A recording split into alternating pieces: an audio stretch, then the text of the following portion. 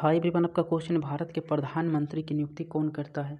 Option number first है राष्ट्रपति option number second है मंत्रिपरिषद ऑप्शन नंबर थर्ड है सदन ऑप्शन नंबर फोर्थ है लोकसभा। तो आपके इस क्वेश्चन को option number first correct answer हो जाएगा। राष्ट्रपति so thank you like share and subscribe so thank you